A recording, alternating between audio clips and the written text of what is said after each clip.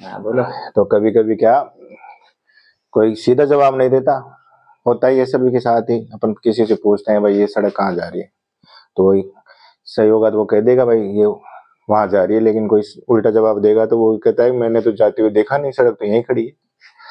तो ऐसे एक दिन क्या हुआ एक भैंस रेलवे ट्रैक पे रेल से टकरा के मर गई। अच्छा।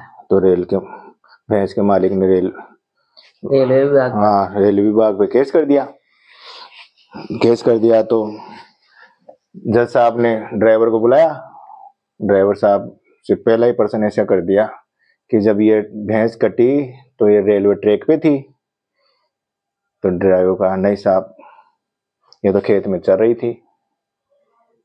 मेरे इंजन की नींद खराब हो गई इस